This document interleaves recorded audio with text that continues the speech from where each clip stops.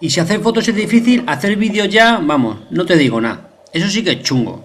Si no, que se lo digan a Ángel, que mira qué mierda de vídeo que, que me ha hecho. Y eso que Ángel se dedica... Bueno, mejor no lo voy a decir para que no haya mucho cachondeito. Aunque hacer niño se le da muy bien. Mira qué cosita.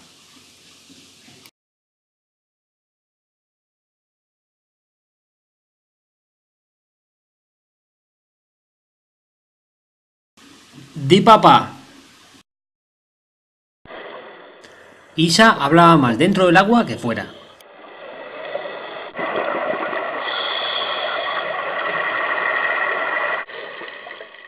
¿Qué quiere?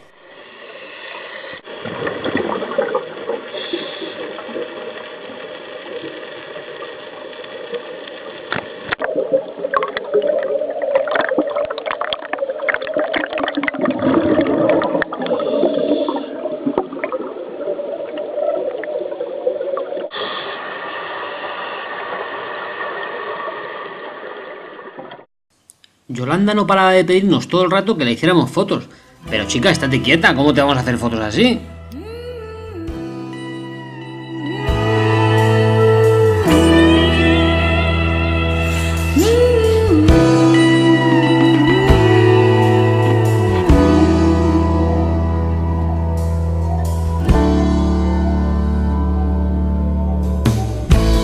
Locked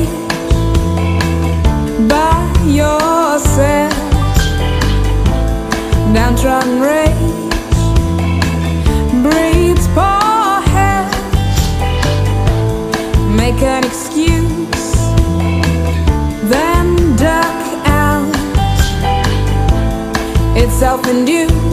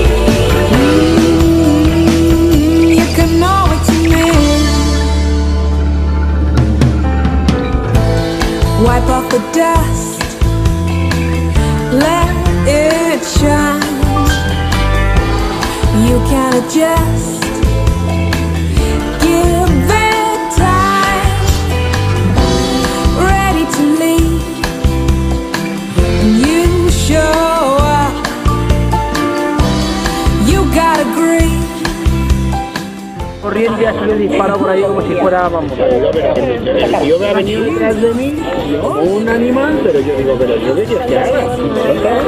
Empezar grabando todo esto. Anda, que le voy.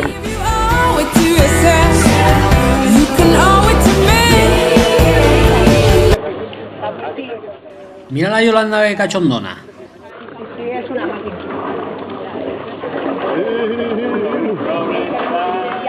Vamos, esos culitos.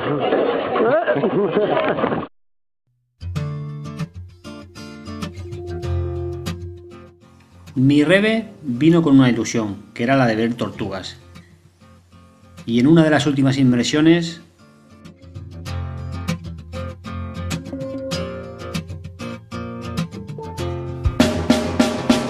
I know she said it's alright. You can make it up next time.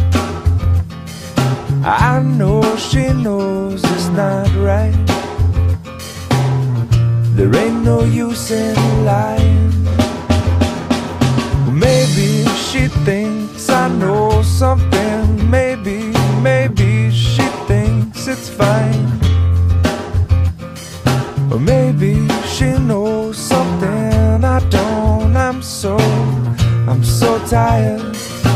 I'm so tired of trying. It seems to me that maybe it pretty much always means no. So don't tell me. Un día nos levantamos a las 3 y pico de la mañana para ir a bucear al Tistron, al Tistron, al bueno, un pedazo de barco que había hundido ahí de la Segunda Guerra Mundial, que no sé en qué año se hundió, pero, pero vamos, Jacques Cousteau fue uno de los primeros en bucear. Bueno, Jacques Cousteau no, fue un coleguita suyo que iba en su barco en el año 1955. Un coleguita francés que se llamaba Ni un pelé de Tonté. Y además se parece al Julito que te cagas, el francés ese.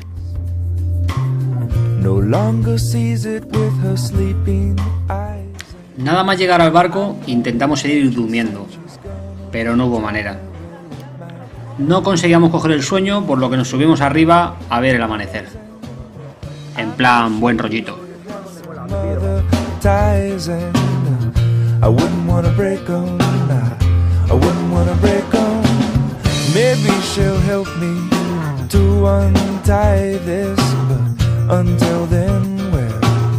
I'm gonna have to lie to you. It seems to me that maybe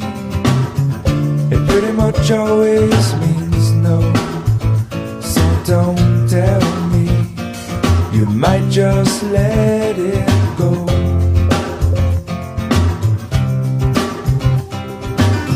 And oftentimes we're lazy. It seems to stand in my way. Según íbamos para allá, tuvimos una sorpresita. No one likes to be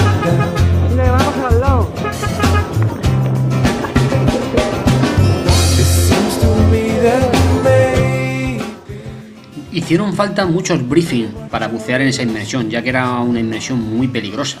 La hélice estaba a 29 metros de profundidad,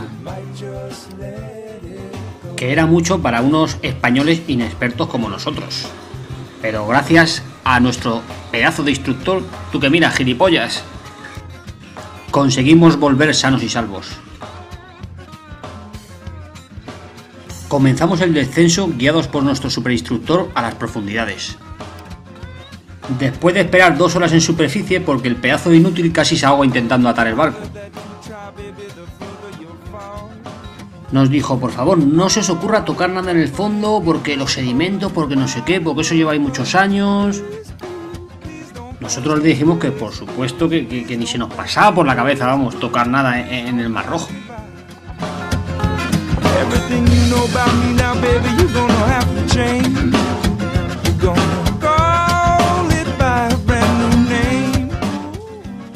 Vamos, que me entero yo que alguien toca el fondo o molesta a los pececillos y es que la tenemos.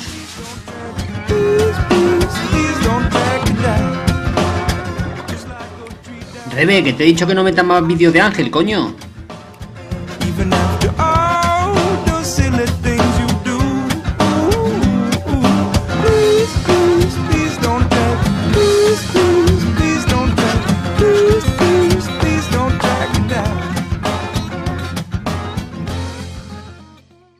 Lo bueno es que nos queda un recuerdo muy guapo del teaser con